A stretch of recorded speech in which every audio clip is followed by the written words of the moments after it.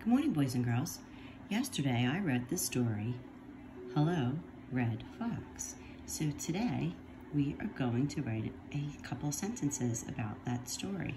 So in the story yesterday, Red Fox um, was having a birthday party. All right, so let's write Red Fox is having a party. Okay, let's start with red er, and that's going to be uppercase because it's our first word, right? Er, r, er, eh. What vowel says eh? E, of course. Red.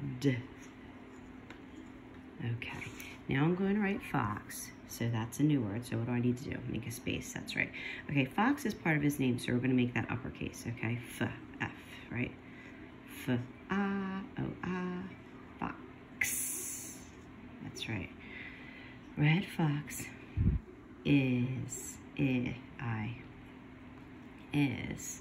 Okay, so now we're going to write having. So let's sound out have first. Ready? H, a, v, v, right? Have ing. Spell ing, boys and girls. Ing. I, N, G. Have ing. Having. Red Fox is having a.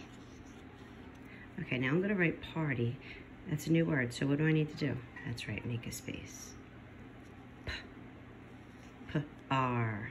Yes, it is to be an R, but it's actually A. R. We haven't really learned the R rules yet. P. R. T. Okay, say party. Guys, when you hear an E on the end of the word, sometimes you make a different letter. Does anybody remember when you hear E at the end of the word? Think about my name. My name is Kelly. What's at the end of my name? Do you remember that Y at the end of Kelly? Party. There's a Y at the end. Isn't that so silly that it says the E sound? Red Fox is having a party. Okay, that's sentence number one, so I'm going to put a period. Oh, and by the way, do you guys see the shadow?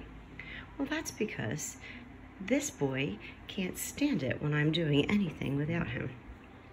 All right, Red Fox is having a party. Okay, for sentence number two, we're going to write, Will you come to my party? Okay, so let's start with will. Spell it for us, Will. W.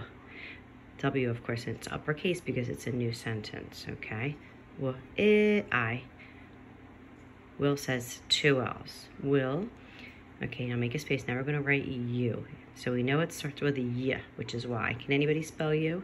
Y-O-U. Will you come? Let's see. K. It's a C. Come is a sight word, guys. You can't sound it out. You just have to know how to spell it. Does anybody know? This is from our sight word song at school. C-O-M-E. Will you come? To my party. Ready? Make a space. Write to. Spell it, Jim. T O.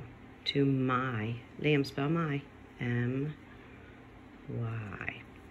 Will you come to my party? P, R. Remember I told you A R. Part.